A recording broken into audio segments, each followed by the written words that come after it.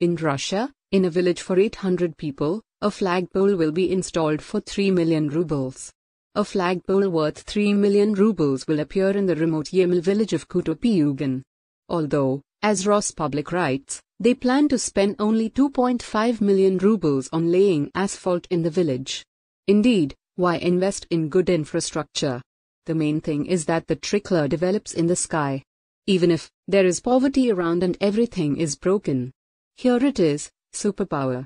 Thank you for watching my video. For more videos stay connected and must subscribe my channel. Thank you.